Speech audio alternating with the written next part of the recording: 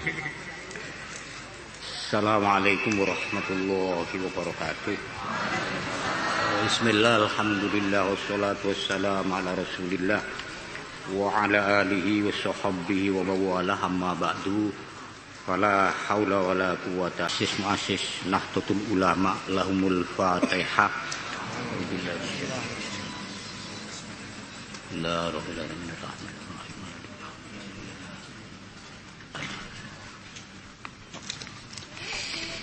Dalu menika kula mboten ngaos wau pun di ngajekne Pak David bahwa semakin hari dunia niku semakin rumit. Kula dalu menika badhe ngajak tempat jenengan sedaya untuk mengenang paling tidak mendoakan kepada orang-orang yang berjasa Sebab September niku pernah terjadi satu peristiwa besar di mana pada waktu niku pulau dewi ya ora menangi raruh. Tapi sekarang mungkin pelajaran di sekolah entah ada apa tidak. Dulu pada 948 itu diawali juga bulan September ini terjadi yang namanya makar untuk merubah pilar-pilar bangsa ini.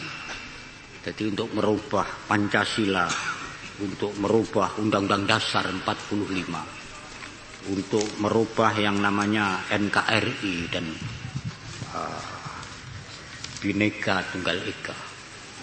Jadi ada yang namanya pemberontakan Partai Komunis Indonesia yang diprakarsai di Madiun sana. Dan itu sudah hampir berhasil. Apalagi eh, TNI ya kita doakan saja organisasinya TNI itu masih sulit masih memiliki integritas enggak ada isu pun komitmen lek mboten negara niki pun guling jadi awake dhewe niki termasuk orang-orang pemakan jasa. Lah niki September karena kita ini termasuk masyarakat sipil yang paling banyak korbannya. Dulu ya namung cerita mawon teng Banyuwangi niki pemuda-pemuda Banser, pemuda-pemuda Ansor, fatayat ini modar kabeh mati dipateni mati. Jadi ada undangan-undangan uh, selawatan begini ada undangan-undangan berjanji ada undangan-undangan tahlil. Teng mriko teko terus diracun kabeh. Sing boten mati namung setunggal saat ini tiangi tasik saged cerita mboten sak ngomong nih lah ini juga terjadi pada bulan September ini betapa jenderal-jenderal itu juga dibunuh. Jadi awal dhewe paling tidak perjalanan bangsa ini mungkin apa tidak itu akan kembali lagi.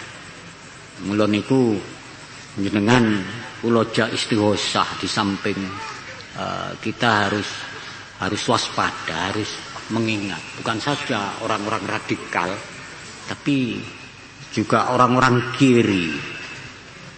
Sekarang kita bisa melihat sampean wis ngalim-ngalim dalam hal itu.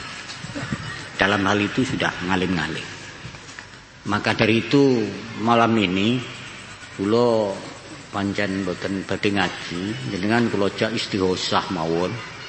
Muga-muga uh, apa yang sudah diwariskan oleh uh, wong tuane awake dhewe pendiri-pendiri bangsa niki uh, kita bisa ngupeni awake dhewe saged melestarikan sehingga kita tetap bisa melaksanakan ibadah dengan damai dengan aman apalagi ini situasi politik kan sudah agak memanas karena ya mungkin mau pilpres atau mau nopo mana togang mana sampean.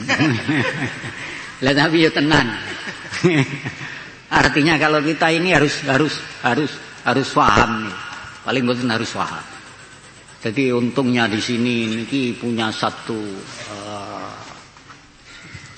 terutama angkatan darat yang memiliki integritas nggak ada nggak komitmen nggak lek mboten negara niku wis ganti kan sampean ora iso ngaji niku lho nggih niku. Niku saestu niku. Ora ora guyon ngoten ora guyon. Dan peristiwa mulai dan itu terus bergulir ngoten maka dari itu malam ini ya marilah kita baca Fatihah kepada orang-orang yang pernah berjasa dan mengorbankan jiwanya untuk bagaimana supaya kita ini sebagai umat yang beragama bisa melaksanakan agamanya. Anteng ora diganggu, ora terjadi yang namanya bentrokan, ora terjadi. Dan sampean lek maca hal-hal seperti itu ya merinding. Ngeri. Ngeri. Dan bocah-bocah sekarang kan sudah ndak ndak begitu. Uh, apa ya? Gak gak begitu. Wis karep-karepmu kaya kan. Sebab memang ada uh, yang namanya uh, buku sejarah itu sudah sudah kata-katanya sudah hanya G30S itu saja. PKI-nya sudah tidak ada. Dan PKI itu sekarang diganti Partai Kemerdekaan Indonesia Jadi akan mengatakan hidup PKI. Lah itu kan sesuatu yang sudah sudah sudah menggo. Ide mboten ngerti, tapi itu akan berjalan terus. Awake dhewe harus agak-agak agak agak rodok rodok paham saiki. Rodok paham saiki. Jadi pindah malih jenengan kula jak maca Fatihah yang kita tujukan kepada uh, kiai-kiai itu sing dibantai yang dulu termasuk besane Mbah Kiai Ma'ruf dulu. Itu rumahnya Tawang Sari sana. Tawang Sari ini berarti Telungagu itu di cemplungnya sumur urip-uripan ya. Yai Hamzah itu. Di Madiun sana. Uh, Mpane mau meneng kabeh ya to. Yo gak wis yo mengenang saiki saiki man. Luwi tenan, apalagi sekarang mulai dulu yang selamat cuman Pak Nasution saja kan dan anaknya juga terbunuh. Nggih. Al-Fatihah. Orang yang tidak mau ndongakne nanggone wong tuane berarti orang ngabukti tengarsane Allah Subhanahu wa taala. Wong ilek wong tuane cek urip ya ngabukti dengan apa yang kita mampu